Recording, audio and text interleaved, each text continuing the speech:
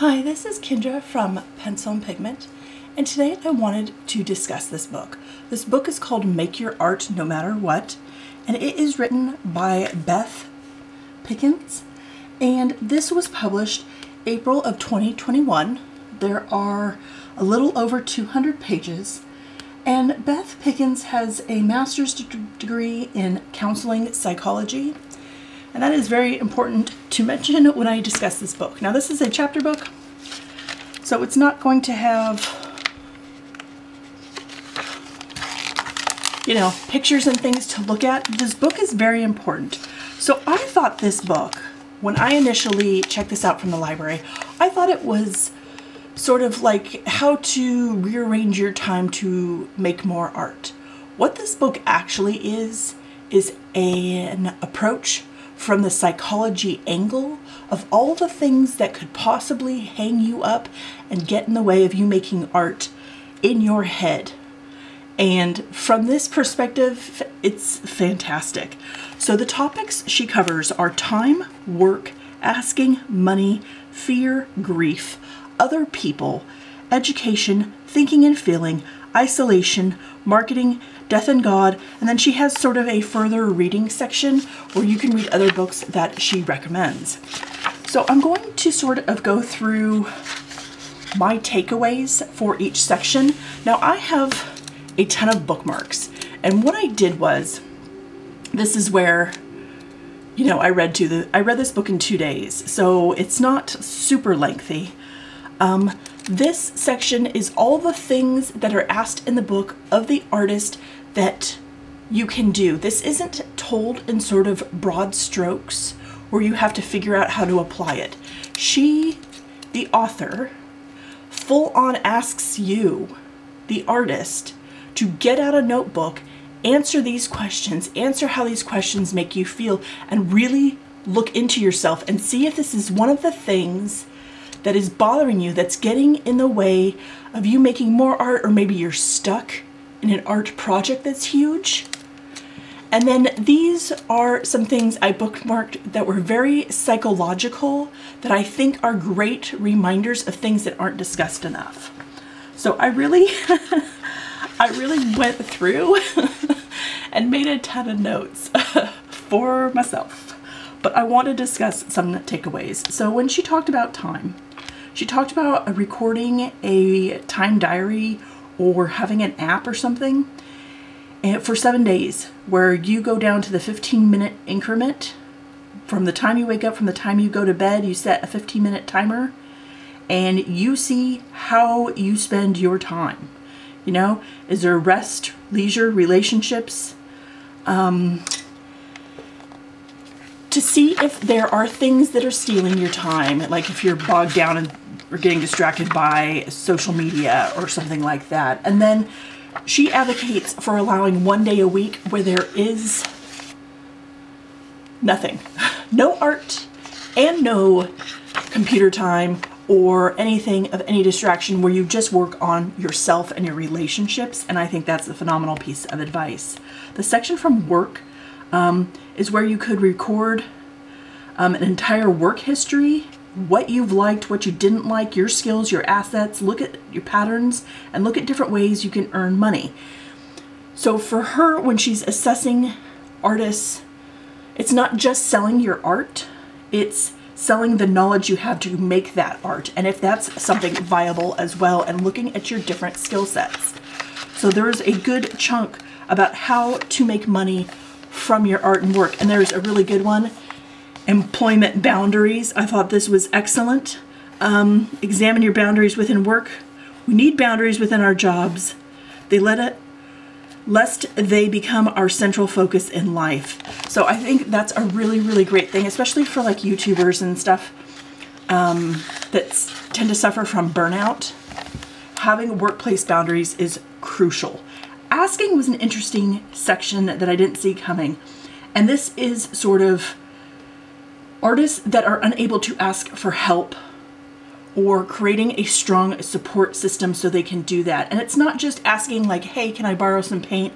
hey, do you have extra of this? It's asking for grants or funding or crew help or residencies or showing art in exhibitions.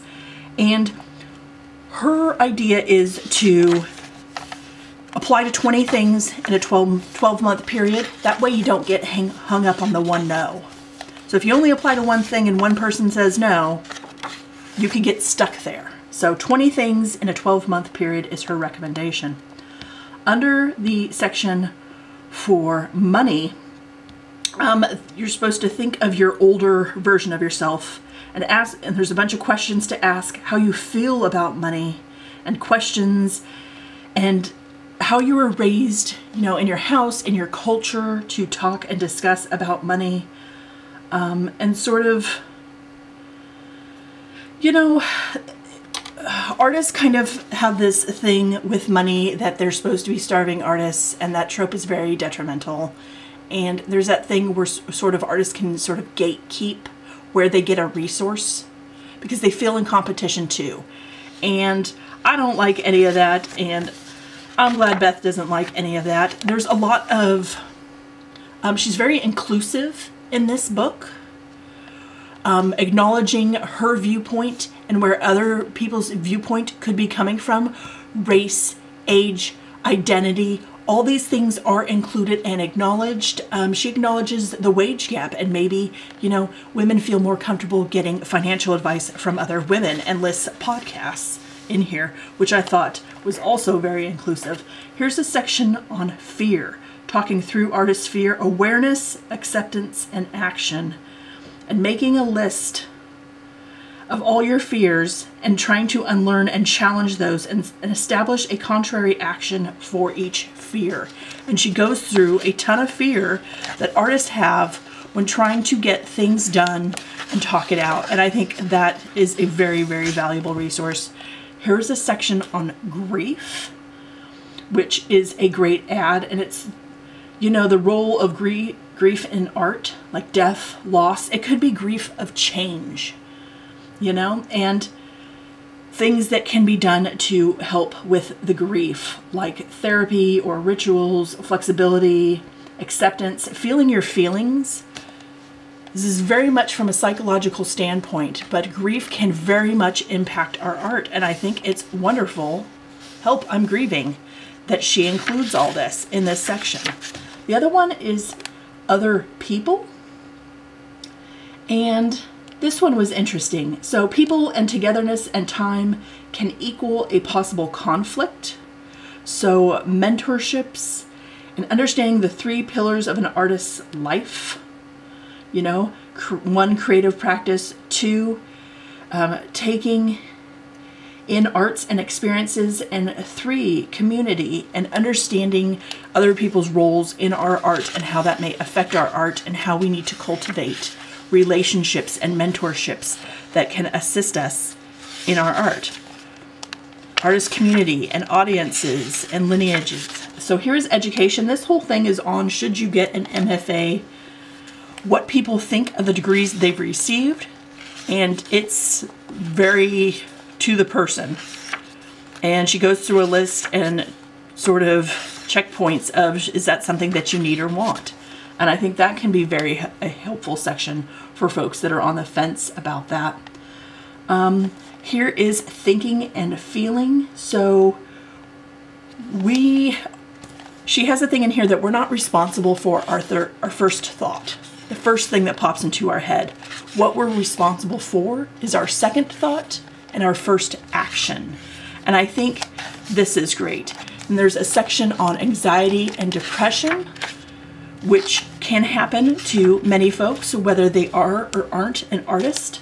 There is a section on isolation, and she talks about isolation versus solitude and lists out a bunch of solutions because as artists, we tend to work alone and we get sort of sucked into a form of isolation sometimes that isn't healthy and can impact our art as well and especially for artists that create alone or create in a studio alone, this could be a very valuable section in this book to read and sort of help get folks out of if they are stuck.